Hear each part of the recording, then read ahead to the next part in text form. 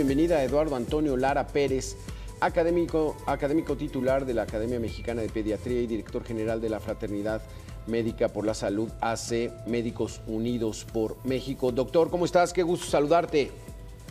Muy buenas tardes, Alberto. Como siempre, un gusto. A tus órdenes. ¿Qué respiramos? ¿Es pregunta o es exclamación, Eduardo?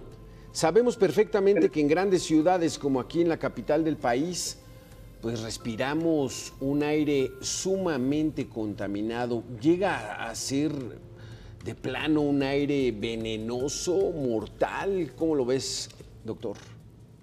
Es verdaderamente crítico el nivel al que hemos llegado. Si hablamos especialmente de la Ciudad de México, desde hace 135 años ya se había alertado que no se respiraba adecuadamente y en aquel entonces, en 1889, solamente había casi medio millón de habitantes. Actualmente, pues no solamente la revolución industrial, sino las refinerías, los gases tóxicos que emanan de incendios, de la actividad del Popocatépetl y todos los eh, automóviles de combustión, de, eh, de combustión de, de, fósiles, pues eh, todo eso es lo que respiramos. Además, pues productos de, de los desagües, de aguas contaminadas, eh, eh, ayuda también que hemos deforestado la Ciudad de México, si estamos hablando específicamente de ciudades, hemos ocupado el hábitat con habitaciones cada vez más hacia arriba y que eso pues conduce a que la gente eh, tenga que comer sus desechos, cómo los va a deshacerse de ellos, y se vuelve un problema de respiración que pues se calcula más o menos que en la Ciudad de México eh, se producen casi 47 millones de toneladas eh, de contaminantes por año. Eso es una cifra verdaderamente altísima y muy peligrosa porque el planeta tiene un límite y estamos llegando casi a ese límite. El planeta tiene un límite, doctor. Aquí la situación está de que, bueno, el sentido común, la lógica establece que toda esta porquería que respiramos en las grandes ciudades, incluso en Salamanca, eh, por la refinería o acá en Tula, este, eso afecta el sistema respiratorio. Pero esa contaminación se puede meter a la sangre, puede generar otro tipo de enfermedades. ¿Cómo está ese asunto, doctor Eduardo? Sí, definitivamente y tienes toda la razón. Los pulmones es, junto con la piel, los órganos directamente en contacto con los contaminantes. Pero debido a esto, tanto en la piel como en el eh, aparato respiratorio, incluso en el aparato digestivo, se van a absorber una serie de partículas que pasan a la sangre y favorecen en mucho producción de cáncer, eh, puede ser de pulmón, también influyen para otros tipos de cáncer. Va a haber problemas del corazón como infartos, trombosis o diferentes enfermedades del corazón. En la piel, quemaduras, envejecimiento, cáncer también de piel. También afecta el cerebro eh, con eh, se cree que el Parkinson tiene relación, el Alzheimer, en las articulaciones, en el deporte, en el intestino, eh, favorecen enfermedades variables en los ojos, con cataratas, retinopatías, en los vasos sanguíneos con aterosclerosis, hipertensión, eh, pueden producir anemia, deficiencia de vitamina D y otras eh, que ya en enfermos pues desencadena todavía agravamiento como enfermos con insuficiencia renal, con diabetes, intoxicaciones de varios tipos. Son múltiples y muy variadas, cuando menos 100 padecimientos derivados de la contaminación. Sí, exacto. Es que, es que finalmente es lo que respiramos. Doctor Eduardo Antonio Lara, vamos a darle la bienvenida al doctor Jesús Felipe González Roldán, expresidente de la Sociedad Mexicana de Salud Pública. ¿Cómo estás, doctor? Qué gusto saludarte nuevamente. Eh, el respirar. Un saludo, El respirar mal este, pues nos lleva a, esa historia, ¿no? De la invasión de los eh, eh, extraterrestres en aquella obra de la Guerra de los Mundos, donde los extraterrestres no soportan el respirar. El ser humano se ha adaptado a esto, o sea, tenemos esa capacidad de que podemos vivir mucho tiempo con toda esta contaminación que hay en el aire. No solo la especie humana, sino también eh, los mosquitos. Por ejemplo, un ciclo transmisor del DT se decía que vivir arriba de los 1200 metros, hoy lo encontramos arriba de los 2000. Entonces, por supuesto que nos hemos adaptado y por supuesto que es un verdadero problema para la salud pública cualquier ciudad contaminada. Ya hablabas tú de lo que es eh, Monterrey, Guadalajara, Ciudad de México, pero empezamos a ver también en lugares donde hay cierta industria, en Salamanca, en, en Pachuca, por están teniendo niveles de contaminación, eh, sobre todo en la parte de la región de Tula. También la contaminación de nuestras presas. Ahí en Hidalgo tienen un problemón debido a la contaminación de aguas negras de la presa Entonces, cualquier tipo de contaminación va a ser perjudicial, te va a disminuir la calidad de vida.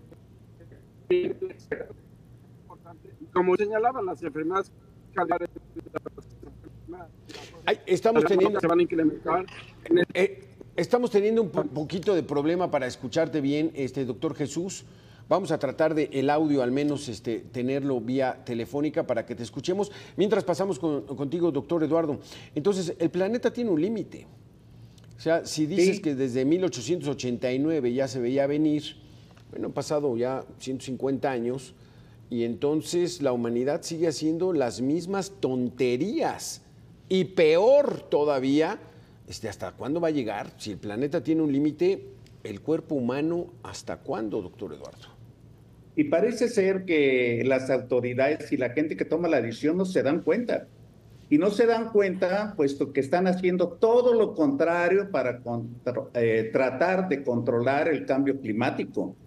Porque esto es derivado, esta contaminación por el cambio climático, y además estamos agravados con un estrés hídrico sobresaliente, nunca antes visto, con temperaturas que todo eso afecta la respiración, la contaminación, el eh, funcionamiento del organismo y el comportamiento del organismo es diferente tanto la gente sana como la gente enferma. La gente enferma, debido a la contaminación, va a tener menos capacidad de tropismo, o sea, se va a depender menos de enfermedades, eso va a cortar su expectativa de vida y le va a causar muerte. Y también el comportamiento para la persona que está sana, pues va a enfermar y se va a perder también una expectativa de longevidad, haciendo que la gente tenga enfermedades de viejos a más temprana edad y que tenga una expectativa de vida menor.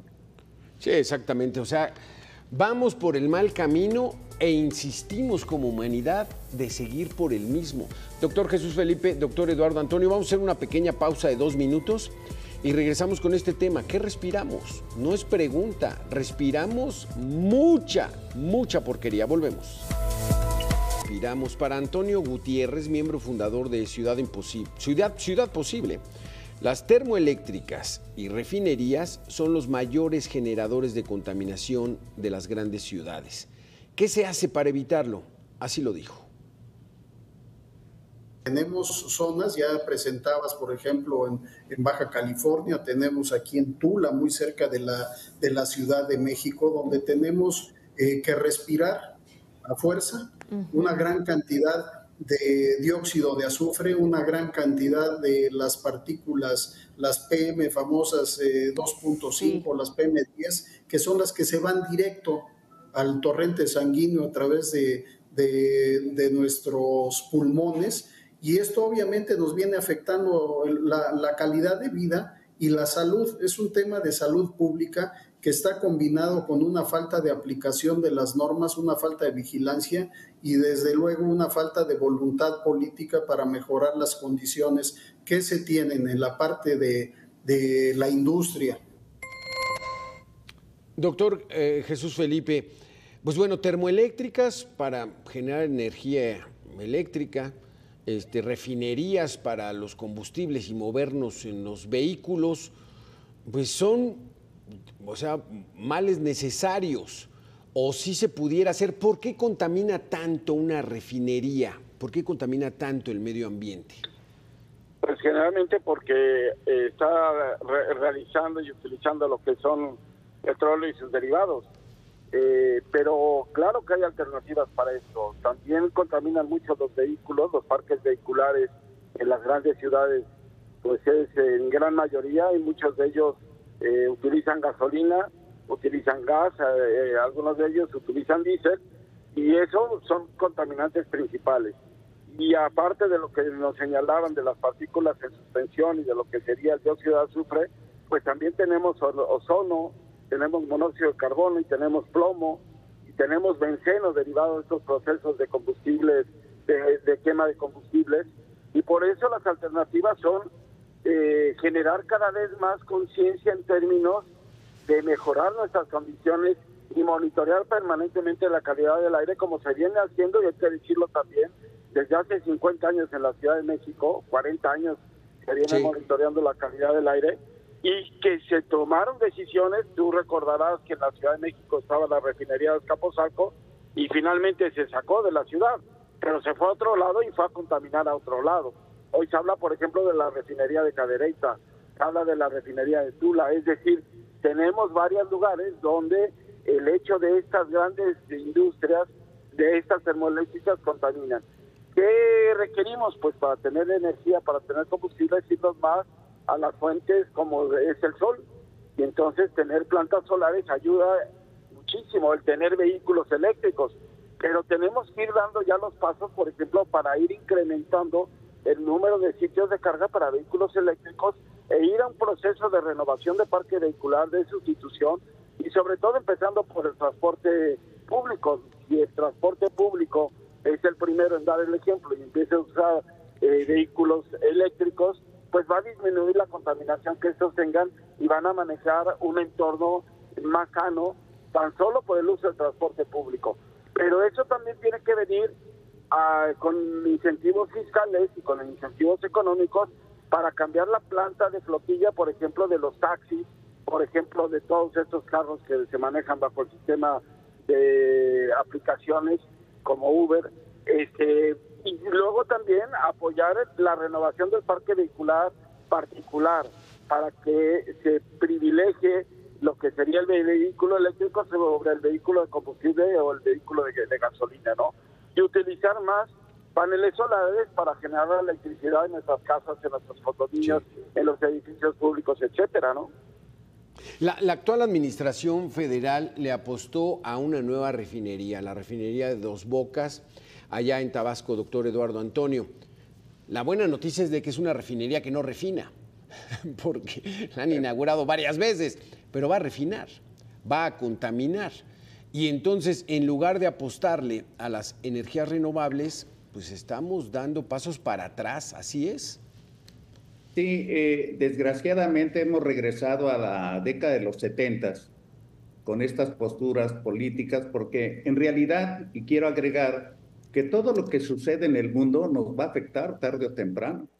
O sea, no, no, no podemos ver el entorno solamente por poquitos, por la Ciudad de México, Guadalajara. No, no, no, nos afecta la arena del Sahara, nos afectan las erupciones de volcanes, nos afectan la deforestación del Amazonas, o sea, todo nos afecta. Y aquí en México, lejos de buscar evitar el cambio climático y la contaminación secundaria, a ello, pues hacemos una refinería como un monumento a la contaminación y además devastamos una selva que también, lejos de reforestar, pues imagínate, estamos quitando el hábitat de animales, de animales vivos que también sufren de la contaminación, le quitamos su hábitat con el riesgo de que desaparezcan y simplemente estamos haciendo como al principio de la industrialización y la explotación y el aumento de la población, que tenemos que alimentar a la gente, quitamos bosques para cultivarlos de alimentos, sino de dónde va a comer la gente. Y entonces es muy difícil tratar de revertir el cambio climático y lo que estamos respirando si no respetamos la naturaleza, si seguimos deforestando y además si seguimos consumiendo combustibles fósiles. lo del tren Maya pues también es otra de las grandes obras de esta administración a costo de el ecosistema. Doctor eh, Jesús Felipe, Eduardo Antonio, vamos a hacer una pequeña pausa de dos minutos y regresamos con este tema. ¿Qué estamos respirando y qué hacemos para mejorar nuestro aire? Volvemos. Hizo un llamado a las potencias internacionales para que reduzcan su emisión de gases contaminantes. La temperatura media anual de la Tierra superará el límite de 1.5 grados en los próximos cinco años. Hace menos de 10 años esta posibilidad era nula. Guterres comparó a la humanidad con el meteorito que acabó con los dinosaurios. Dijo que ciudades como Nueva Delhi y la Ciudad de México están, están ardiendo. And humanity is just one small blip on the radar. But like the meteors that wiped out the dinosaurs, we are having an outsized impact. In the case of climate, we are not the dinosaurs, we are the meteor. We are not only in danger, we are the danger, but we are also the solution. Doctor Jesús Felipe, no somos el peligro, no, no estamos en peligro, somos el peligro, pero podemos revertirlo. Ya nos dijiste algunas alternativas, pero pues, ¿qué se puede hacer cuando a un presidente de una nación se le ocurre hacer un tren en medio de la selva? ¿Qué podemos hacer si la decisión la tienen ellos? Ellos tienen el poder, doctor. Sí, pero también los ciudadanos tenemos eh, la posibilidad de movernos en alternativas limpias, ¿no? Si yo utilizo, por ejemplo, un camión eléctrico en vez de un camión a gasolina o diésel, pues eso va a coadyuvar a que se vaya renovando la planta vehicular. Y mira, tú me dices qué podemos hacer. Pues todos podemos empezar por plantar más árboles, ¿no? Necesitamos más árboles. Afortunadamente, muchas de nuestras ciudades en México son ciudades llenas de árboles, el clima nos favorece. Eh, a, diferencia de otros lugares, otras ciudades del mundo, pues en México cada ciudad tiene una cantidad importante de, árboles. Tenemos que sembrar más y cuidarlos como tal. Tenemos que también cuidar nuestras fuentes pluviales. El tema del agua es un problema fundamental que se tiene que empezar desde ya a trabajar en él para dotar a las ciudades cada vez de agua, pero también en mayores cantidades, porque cada vez somos mayor población, pero también con alternativas mucho más eh, limpias y mejorar también la eliminación en términos de los desechos de agua, pero también en términos de cuidar nuestras fuentes pluviales como tal. Por eso hay que tener una gestión sostenible de las aguas, tener y cuidar sobre todo los desechos. Los desechos que provocamos cada uno de nosotros en nuestros hogares también tenemos que tener esta cultura del reciclaje, tenemos que tener esta cultura de menos plásticos, tenemos que tener la cultura de cada vez ser más conscientes en términos de lo que estamos utilizando, propiciar los eh, alimentos orgánicos sobre los no orgánicos como tal, y eso es fundamental que lo empecemos a hacer. Y yo te decía, la movilidad, si somos capaces de invertir gran cantidad de recursos en generar tan solo en las principales ciudades de México cambios de los que son los camiones de diésel, de, gasolina, etcétera, por camiones eléctricos, le estamos invirtiendo a un futuro mejor en términos de nuestra contaminación del aire como tal.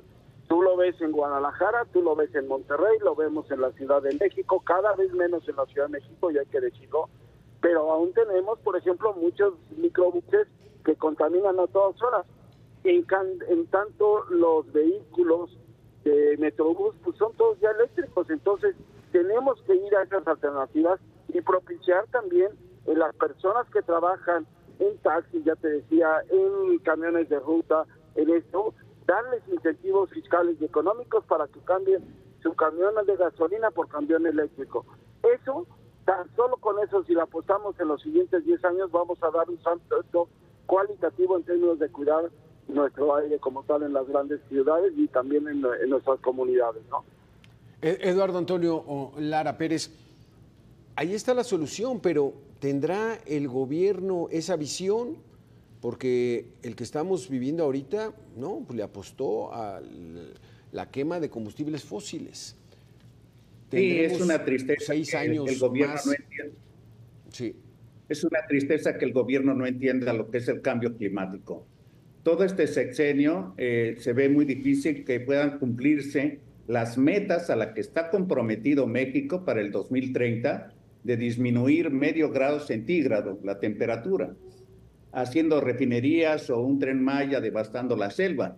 Pero además hay cosas que nosotros podemos hacer y hay cosas que es de todos los días y que consume mucha agua. Ahorita que están hablando del estrés hídrico y también contamina, eh, que es, por ejemplo, se necesitan 70 litros de agua para producir un litro de Coca-Cola. Eso también va a contaminar.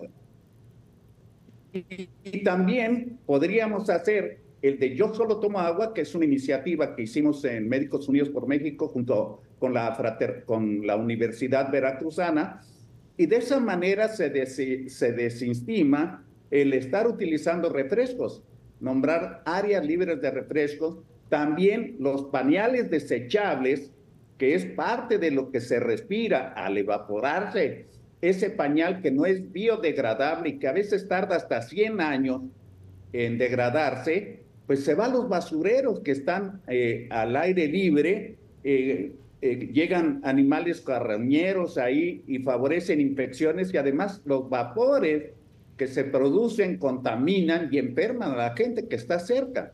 En fin, hay mucha tarea, pero depende de cada uno de nosotros. Hay ciudades en Europa que en el balcón de su casa siembran plantas, siembran incluso hasta huertos. Eh, yo creo que tenemos que tener una cultura de usar menos el auto, usar la bicicleta, caminar más. Y de hecho había una propuesta hace como 30 años de que el, centro de la Ciudad de México fuese exclusivamente peatonal. Eso a lo mejor podría ayudar en algo a la Ciudad de México y replicarlo en otras ciudades que tienen el mismo problema. Guadalajara, Monterrey, eh, ahora también Veracruz y ciudades intermedias están con el mismo problema. Sí. Sí, porque eh, el, asunto de los pañales desechables, doctor Jesús Felipe, pues es volver al pasado, ¿no? A, lavar, ¿no? Pañales de tela y a lavar, porque ahora sí está muy práctico. Pero pues bueno, ¿cuánto dura este, ese periodo de donde el niño pues este, no aprende a ir al baño? Pues bueno, vamos a fletarnos, ¿no? Hay que hacer el esfuerzo, doctor Jesús, ¿no? Sí, como bien señalas, es regresar a, ahora sí a lo que hacían nuestras abuelas, ¿no? A, eh, lo que hacían nuestras madres también, eh, en algunos casos, de utilizar los pañales de tela y lavarlos como tal. creo que es mucho más práctico. No es lo más práctico, pero sí puede ser lo, lo, más adecuado para evitar tanta contaminación por la utilización de pañales de plástico, ¿no? Como, como tal. Y mira, yo, yo, te, yo te diría, y creo que en esto hay que darle todavía el beneficio de la duda a la doctora Sheinbaum, que será nuestra próxima presidenta seguramente, porque bueno, pues ella es conocedora del tema, es medioambientalista, hay que decirlo, tiene una formación sólida en esa materia, y ella en la Ciudad de México planteó de manera muy clara, por ejemplo, el tener una ciudad solar. Eh, no se ha concretado, se han dado algunos pasos, pero es importante que si esa visión este, permanece, pues tengamos ciudades solares, ciudades que tengan y aprovechen, eh, se construyan parques solares para que se aproveche la luz del sol como energía y tenemos menos contaminación y tan solo si eso se utilizara en edificios públicos o en la infraestructura pública de movilidad o en todas las luminarias de las ciudades, pues ya estamos dando un gran paso hacia adelante. Entonces, creo que sí hay soluciones, Creo que aquí lo importante es concientizarnos todos, cada uno, en cómo yo desde mi pequeño, eh, mi pequeña participación puedo apoyar para hacer algo mejor. Si prefiero caminar en vez de desplazarme en auto cuando voy a 3, 4, 5, 10 calles, pues mejor camino en vez de usar el auto. Hoy, como vemos que las por el tema de seguridad, pues mucha gente tiene que usar su vehículo para ir a la tienda que está a tres calles, por ejemplo, o para ir a la tintorería o para ir a, reparar calzado, lo que sea. Sí. Y eh, empezamos a caminar más en vez de movernos más en auto, ya es si nuestras ciudades y nuestros gobernantes empiezan a invertirle más en el transporte público ecológico y en mayor y mejor calidad en términos de las rutas, pues eh, seguramente muchos dejaríamos de usar el auto por la practicidad inclusive el menor costo que puede tener desplazarnos en transporte público. Es decir, necesitamos soluciones y una visión integral para el problema del medio ambiente. Y, decisiones, doctor Jesús, como ustedes lo dicen, doctor Eduardo. Sí. Este, dejemos de eh, consumir refrescos, dejemos de consumir pañales desechables. Este, escojamos eh, nuestra basura, dejemos de utilizar plásticos, dejemos de utilizar bolsas y pues bueno, que en uno esté, ¿no, doctores? Esa situación. Gracias por haber estado con nosotros, eh, doctor Jefe. Lo, sí, lo último, lo último, tenemos 30 segundos. Quiero agregar, Alberto, que también algo que es muy común, los aerosoles. Tenemos que dejar de utilizar aerosoles. Yo verdaderamente tengo poca esperanza en el nuevo gobierno por una razón. Van a seguir la misma política y tomamos solamente medidas de contención, no de solución quisiera saber realmente qué impacto tiene el no circula realmente o de las, decir que eh, no se va a circular porque el aire no es compatible. ¿Qué se está haciendo para prevenir eso? No para solamente contener. En fin, es mucho para debatir y pensar.